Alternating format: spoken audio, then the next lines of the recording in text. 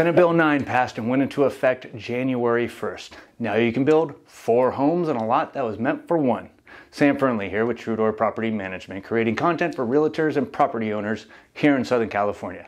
Please hit that subscribe button at the bottom of this page if you would like to hear more about your industry.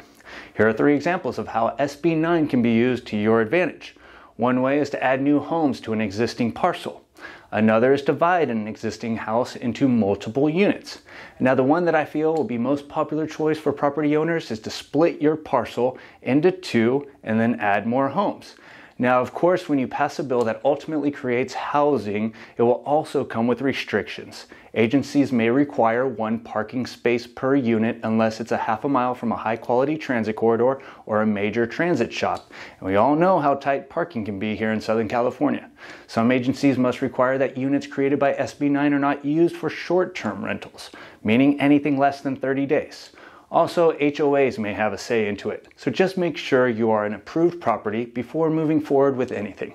Now, those are some of the restrictions for SB9. Now, some of the qualifications that come with SB9 and doing a lot split require a build of 1,200 square feet on any new construction, and these projects must be for residential uses only.